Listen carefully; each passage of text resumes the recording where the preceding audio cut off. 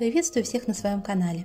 Сегодня у меня будет ленивый рецепт, хотя по технике приготовления я бы не сказала, что это уже совсем ничего не делать. Сегодня приготовим ленивые голубцы.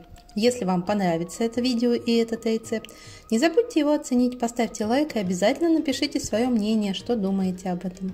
Итак, для приготовления нам понадобится мясной фарш, я взяла свиной, луковица, морковь, молодая капуста, отваренный уже предварительно рис, соль и черный молотый перец по вкусу и небольшой кусочек сливочного масла. И для соуса сметана, томатная паста, вода, а также соль и черный молотый перец.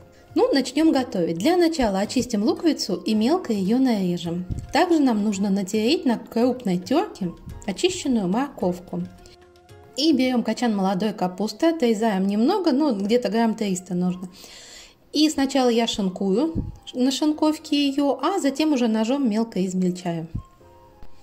Теперь разогреваем сковороду, кладем на нее небольшой кусочек сливочного масла, даем ему растопиться и выкладываем лук, нарезанный, жарим его до прозрачности.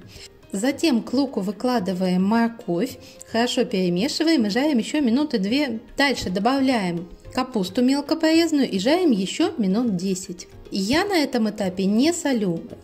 Для фарша нарезаю мясо небольшими кусочками, чтобы удобно было перекручивать, и перекручиваю это мясо на мясорубке. Кстати, очень вкусно будет, если взять э, мясо на фарш 50 на 50, свинину и курицу. Будет немножко попаснее. Итак, к фаршу в миску добавляем наш отваренный рис. Затем Выкладываем зажарку нашу капусту, лук, морковь. Теперь все это солим и перчим по своему вкусу и всю эту массу хорошо вымешиваем до однородного такого состояния. Теперь берем форму для запекания.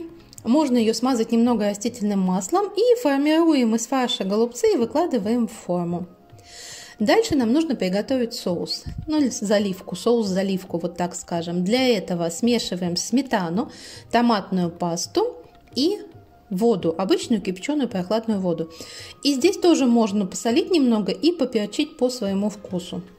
Заливаем сверху голубцы вот этой заливкой и ставим запекаться в духовку, разогретую до 180 градусов, где-то приблизительно минут на 50, а может быть на час. И все, наше блюдо готово. Блюдо получается очень сочное и очень вкусное. И, в общем-то, не все любят э, голубцы в таком виде, в каком они, ну вот настоящие голубцы, это завернутые в капустный лист. А здесь капуста не так ощущается, и в то же время это вкусно, и по вкусу это те же самые голубцы. Если вам понравился этот рецепт и это видео, то не забудьте его оценить, поставьте лайк или дизлайк и напишите свое мнение. А также не забывайте подписываться на мой канал. Видео у меня выходят постоянные, видео у меня очень интересные. Итак, всем приятного аппетита, всем пока и до новых встреч!